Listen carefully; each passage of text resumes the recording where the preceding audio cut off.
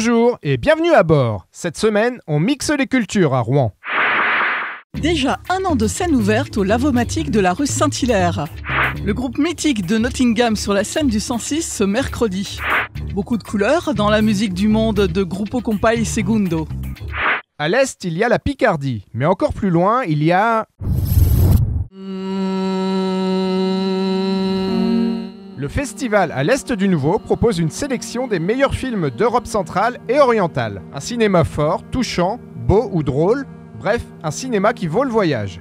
Il y a une invention parce que justement, comme ces films sont destinés un petit peu au festival, il y, a, une- recherche parce qu'ils savent qu'en fait, s'ils respectent les, formats ou les, ils vont de toute façon pas avoir de public. Donc, ils sont plutôt dans une surenchère de l'invention que en fait dans euh, le respect de certains codes.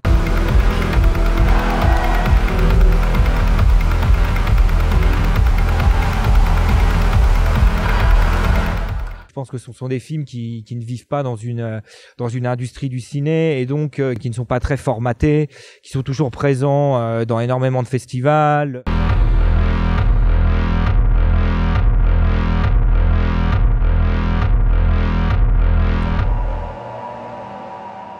D'autres sorties, par ici. L'être Saint-Maclou se fait le théâtre des poètes le temps d'un dimanche. En National 1, le club Métropole Rouen Normandie accueille Rennes. L'écrivain Philippe Besson présente son nouveau roman Les Passants de Lisbonne. Le chanteur belge Arnaud étale toute sa classe sur la scène du 106. Une comédie hilarante sur les planches de Charles Dulin, c'est Nelson. Une avalanche d'émotions pour la Maison qui présente son disque à domicile. Restez accrochés au périscope sur Facebook et YouTube. Allez, salut, on se perd pas de vue.